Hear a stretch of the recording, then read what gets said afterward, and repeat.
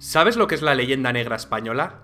Quédate que te lo voy a contar con algunos vídeos de algunos historiadores hablando de ella. Julián Juderías, gran difusor del término, definió la leyenda negra de esta manera en 1914. Las acusaciones que en todo tiempo se han lanzado sobre España fundándose para ello en hechos exagerados, malinterpretados o falsos en su totalidad. Es decir, una serie de, de temas de la historia de España que cuando se vierten, se vierte eh, no la historia, sino su reverso tenebroso, que es la leyenda negra. Creo que la leyenda negra no es solamente una sombra, es una, una realidad cotidiana. La leyenda negra es un caso particular de un fenómeno universal eh, que se ha dado en muchos tiempos y en muchos lugares que es esa aversión hacia los poderes hegemónicos, hacia los imperios. Mm, ese es el problema, la, la asunción de, por parte de los españoles de la leyenda negra. Es, es algo verdaderamente inaudito porque yo pienso que en el terreno académico la leyenda negra está bastante desactivada. Porque la leyenda negra básicamente es la otra cara del complejo. Primero hubo un complejo de imperio,